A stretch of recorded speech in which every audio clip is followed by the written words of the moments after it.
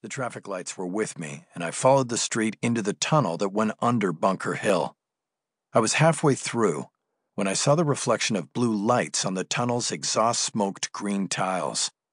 I checked the mirror and saw an LAPD cruiser behind me. I hit the blinker and pulled into the slow lane to let him pass, but the cruiser followed my lead into the same lane and came up six feet behind me. I got the picture then. I was being pulled over. I waited until I was out of the tunnel and took a right onto Figueroa. I pulled to a stop, killed the engine, and lowered the window.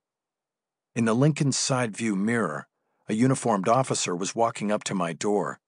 I saw no one else in the patrol car behind him. The officer approaching me was working alone. Can I see your license, car registration, and proof of insurance, sir? he asked. I turned to look at him. His name tag said Milton. You sure can, Officer Milton, I said. But can I ask why you pulled me over? I know I wasn't speeding, and all the lights were green. License, Milton said. Registration, insurance. Well, I guess you'll eventually tell me. My license is in my pocket inside my coat. The other stuff is in the glove box. Which do you want me to go for first? Let's start with your license. You got it.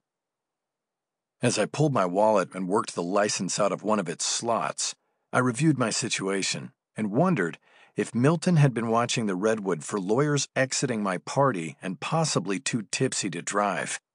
There had been rumors about patrol cops doing that on nights when there was an NG celebration going on, and defense lawyers could be picked off for a variety of moving vehicle violations. I handed Milton my license and then went for the glove box. Soon enough, the officer had all he had asked for. Now, are you going to tell me what this is about? I asked. I know I didn't step out of the car, sir, Milton said. Oh, come on, man. Really? Please step out of the car. Whatever. I threw the door open, aggressively forcing Milton to take a step back, and got out. Just so you know, I said, I spent the last four hours in the Redwood but I didn't have a drop of alcohol. I haven't had a drink in more than five years. Good for you. Please step to the back of your vehicle.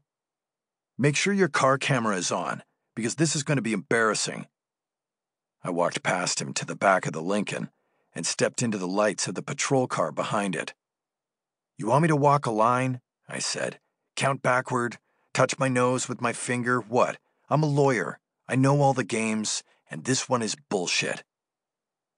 Milton followed me to the back of the car. He was tall and lean, white, with a high and tight haircut. I saw the Metro Division badge on his shoulder and four chevrons on his long sleeves. I knew they gave them out for five years of service each. He was a veteran Metro bullet head all the way. You see why I stopped you, sir? he said. Your car has no plate. I looked down at the rear bumper of the Lincoln.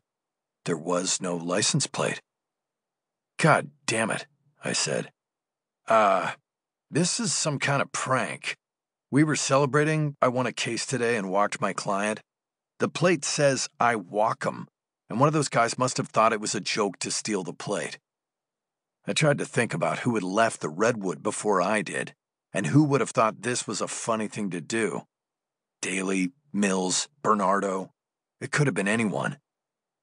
Check the trunk, Milton said. Maybe it's in there. No, they would need a key to put it in the trunk, I said. I'm going to make a call, see if I can. Sir, you're not making a call until we're finished here.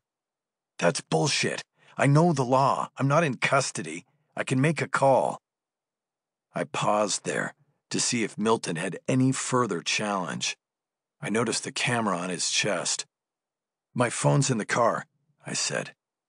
I started moving back to the open door. Sir, stop right there, Milton said from behind me. I turned around. What? He snapped on a flashlight and pointed the beam down at the ground behind the car. Is that blood? he asked. I stepped back and looked down at the cracked asphalt. The officer's light was centered on a blotch of liquid beneath the bumper of my car. It was dark maroon at the center.